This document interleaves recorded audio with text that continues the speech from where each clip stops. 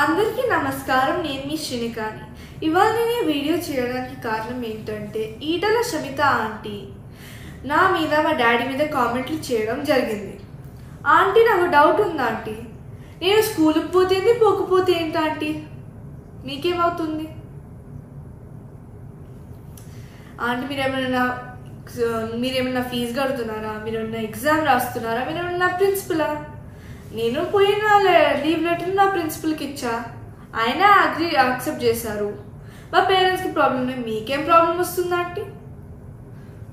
మళ్ళీ మీరు అన్నారు కదా హుజరాబాద్ ప్రజలందరూ చాలా ఫీల్ అవుతున్నారు.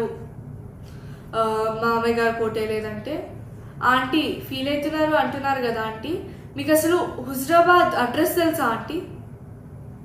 హుజరాబాద్ ఎట్లుంటుందో అన్న తెలుసా? అసలు హుజరాబాద్ ఎన్నూరు ఊర్లు ఉన్నాయో తెలుసా? సరే అవన్నీ తీసి పక్కన పెట్టండి.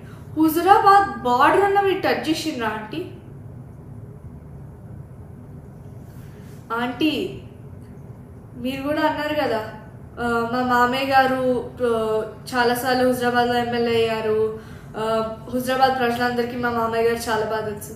మీ మామయ్య గారు చాలా బాగా తెలిసి మా డాడీ పోటేశారు ఆంటీ.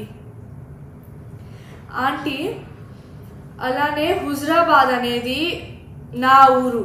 మా నాని మా అమ్మమ్మ మా ముత్తాతలు తాతలు అందరు ఉండే ఊరు అదే.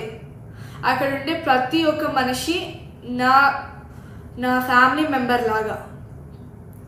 వాళ్ళే నా బలం. వాళ్ళే మమ్మల్ని కాపాడుతారు. ఆంటీ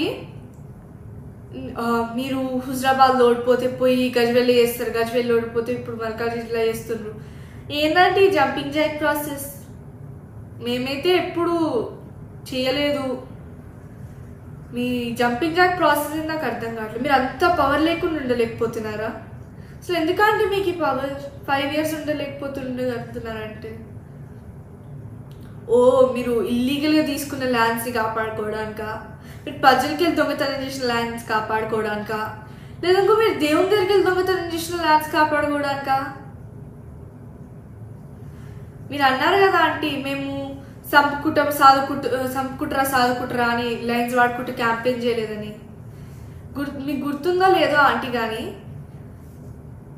క్రాన్బెరీ జ్యూస్ పాయిజన్ బాటిల్లో పట్టుకొని పోయి ఇన్ని నేను తాగుతాను మీరు నాకు ఓటు వేయకపోతే అని ఈట్ల రాజేందర్ తాతి అన్నారా అనలేదా? అలానే బొట్టు తెంచుతారా ఉంచుతారా అని జమున అమ్మమ్మనే అనింది. అలానే లాస్ట్ మోస్ట్ ఫ్యాసినేటింగ్ పాయింట్ ఇదైతే. ఈటల రాజేందర్ తాతయ్య గారే చంపుకుటరా సాదుకుటరా అనే ట్రెండ్ స్టార్ట్ చేసింది ఆంటీ నేను ఎలక్షన్స్లో తిరిగింది. మా డాడీ ఎంత మంచివాడో ఎంత గొప్పవాడో అని చెప్పడానికి అభివృద్ధి ఎంత మంచిగా చేస్తారో చెప్పడానికి. హుజరాబాద్ ప్రజలందరూ నన్ను నమ్మి మా డాడీ ఓటేసింది నేను నమ్మకంని పోగొట్టుకోవాలి అనుకోవట్లేదు. ఏదో ఒక రోజు మళ్ళీ కేసీఆర్ తాతయ్యనే సీఎం అవుతారు. నేను మళ్ళీ హుజరాబాద్కి వెయ్యి కోట్లు తెస్తాను.